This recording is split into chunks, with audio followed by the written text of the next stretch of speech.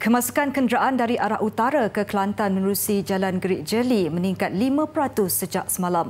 Timbalan Ketua Polis Kelantan SAC Abdullah Muhammad Piah berkata, pertambahan jumlah kenderaan ke negeri ini dikesan dari Perak, Kedah dan Perlis. Bagaimanapun katanya tidak berlaku pertambahan jumlah kenderaan di pintu masuk di sekatan Jalan Raya Gomusang dan Pasir Putih. Mereka yang masuk ke Kelantan juga ada alasan kerana mempunyai surat kebenaran daripada pihak polis termasuk untuk menziarahi kematian ahli keluarga, ziarah keluarga yang sakit dan untuk mendapatkan suntikan vaksin. Di bandar utama seperti Kota Baru, Pasir Mas, Tumpat dan Macang turut berlaku pertambahan kenderaan sejak semalam. Peningkatan itu kerana orang ramai keluar membeli barang keperluan bagi menyambut Aidiladha. SAC Abdullah meminta masyarakat terus patuh SOP berikutan kes harian COVID-19 di Kelantan masih tiga angka.